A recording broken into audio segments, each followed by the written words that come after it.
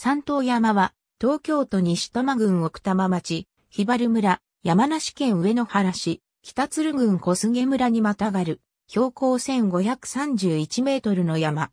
日本300名山、山梨100名山の一つに選定されている。古くは山の神々が集まる場所で鹿妻山と呼ばれていた。三つの頂上があるので三島山という。西方、中央盆、東方があり、三角点は東方に置かれている。奥高尾重走路、笹尾根の北端、奥多摩三山の最高峰。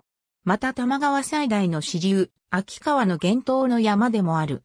約800万年前に地下から溶岩が突き上げ、およそ8合目までが石英戦力岩で占められている。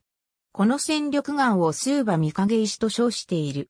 三島山周辺は、ヒバル村都民の森水源林として保護されており、山頂周辺には、ブナ林が残っている。